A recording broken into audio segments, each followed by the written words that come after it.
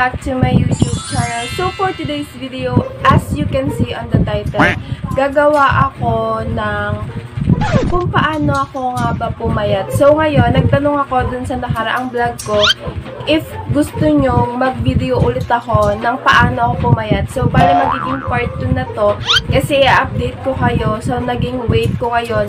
Um, etong video na to is about no exercise. No exercise na siya guys kasi hindi na ako nag-exercise pero until now, pumapayat ako, nagba, nababawasan pa rin yung timbang ko.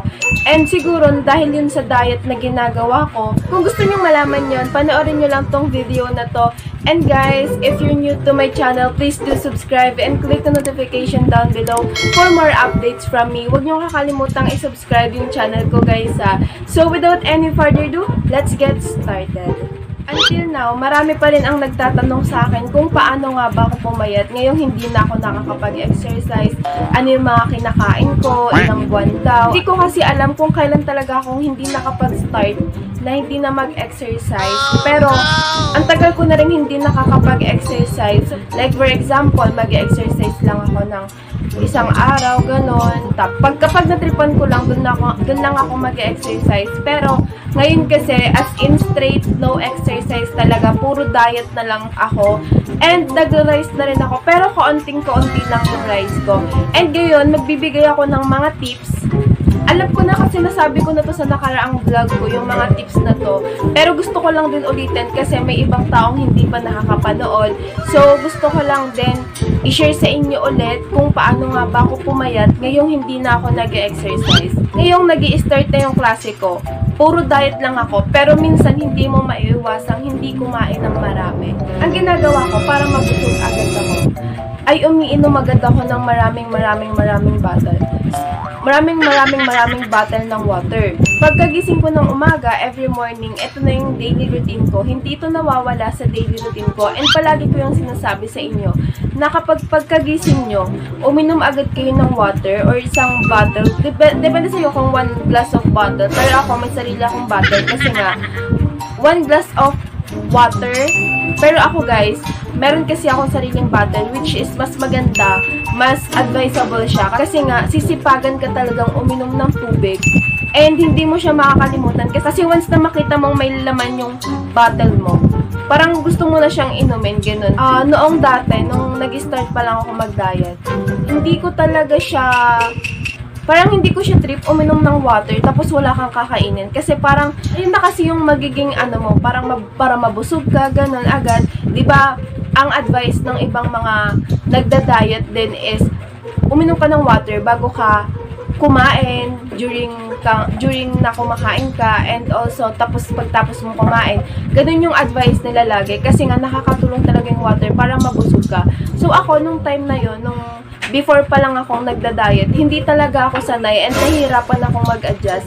And honestly, mahirap talagang mag-adjust, lalo na kapag nag-uumpisa ka pa lang. Pero pag araw-araw mo siyang ginagawa, hindi mo na siya makakalimutan. And, ayun, malaking tulong yun sa akin. Lagi akong hydrated, ganun. So, malaking tulong talaga yung water sa katawan natin. And, ano naman talaga siya, kailangan naman talaga nating uminom ng water. Tamad lang talaga tayong uminom, kaya ganun yung nangyayari sa atin, kaya hindi natin nakakasanay yung uminom ng tubig araw-araw. Pero nung nag-start na akong mag-diet, ayun na, doon na nag-start na hindi ko na nakakalimutan yan bago ako kumain, pagkatapos ko kumain, ganun, lagi akong nainom ng water. Maglalagay rin ako ng mga results ko ng before and after, yung super taba ko talaga, and ngayong updated na yung weight ko, yung update weight ko. So, ayun, yung weight ko ngayon guys is 46 kilogram. Pero minsan, nag-47 siya kapag nakain ako. Tapos minsan, pag morning, kapag tinitimbang ko yung sarili ko, nag-46 siya. Pero minsan, 47, 46. Doon nagre-range yung, yung weight ko. And ngayon, yung waist ko, um, 25 to 24. Ganun yung nagiging waist ko, ganyan. Pero pag nakain ako, 25. Pero pag minsan hindi, 24. Ayun na yung update weight ko. No exercise talaga yun. As in, diet lang yung ginagawa ko. And kung nakita nyo na yung nakain ko nung what I eat in a day, panoorin nyo na yun guys. Kasi ayun yung update na pagkain ko, I mean yung may rice na kasi yun yun. Bale, nakain ako ng may kanin. And kasi parang, syempre may pasok na, kailangan na natin kumain ng kanin guys. Kailangan na, it is a must. Hindi ko rin kasi kaya na ulam lang kasi medyo mabilis na rin ako nagugutom, especially din ako nag-exercise. And ayun, so number 2 na tip ko, yung una, number 1 tip, laging huwag kakalimutang uminom ng water. Number 2, lagi kang tumayo pagkatapos mong kumain. So ako dati guys, 'di ba kapag busog ka, parang ang, ang tamad-tamad mo kasi syempre mabigat yung katawan mo. Like kakatapos ko lang kumain tapos tatayo agad ganun. Ganun ako dati. And kung makikita nyo guys, sobrang taba ko talaga as in hindi ko inaakala nga abot ako sa 62 kilogram na timbang kasi feel ko dati na ang payat-payat ko, ganyan. Parang hindi ko rin feel na payat na mataba ako, ganun. Kasi syempre, siguro dahil na rin sa confident ko, ayokong bumaba yung self-esteem ko na kahit binubuli ako, parang bababa na yung self-esteem ko na taba ko nga siguro, ganyan. Pero minsan, pumapasok rin sa mindset ko na ang taba ko na siguro kaya ako inaasar yun, na siguro kailangan ko na rin magpapayat. Pero minsan kasi, nakakatama din talagang magpapayat. Nung grade 12, lagi ko sinasabi na magpapapayat na ako, magpapapayat na ako. Kasi marami na rin taong nagsasabi sa akin na, Nix, magpapayat ka na, kailangan mo na yan. And nainggit din ako, syempre hindi naman may iwasan yung insecurities kapag nakakakita ka ng sexy na nakakapagsuot ng mga fitted pero dati kasi guys, kahit na mataba ako, nagsusuot pa rin ako ng mga fitted, ng mga, yung crop top and yung mga tinatali na damit. Hindi ko alam kung bakit, pero hindi ko feel na mataba ako that time. Lagi ko sasabi, sexy naman ako, ganyan-ganyan. Pero marami na rin nagpaparealize sa akin na mataba nga talaga. Pero hindi ko rin talaga feel. Tapos yung time na nagpapayat na ako, and ngayon nakikita yung nakikita ko yung mga pictures ko. Nalagay ko dito yung mga pictures. And nakita ko na, hala OMG, sobrang taba ko talaga. Hindi ko ina-expect. Ngayon ko lang nalaman, nung nagpapayat na ako, ngayon ko lang nalaman na ang taba ko nga talaga, na nag-gain ako ng 62 kilogram na hindi ko inaasahan na magiging ganun yung timbang ko. And ngayon, super happy ako sa result ko na 46 to 47 kilogram na yung timbang ko na parang satisfied naman na ako. Pero until now, ginagawa ko pa rin yung diet ko. And guys, yung diet na yun is healthy pinakang isa sa malaking tulong na nagawa ng pagda-diet ko is yung tumatayo ako after kong kumain. Kasi once na tumayo ka, parang bababa na kasi yung kinain mo guys.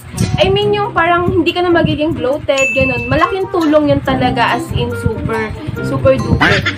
Malaking tulong siya sa akin kasi hindi mo na na-feel na bloated ka.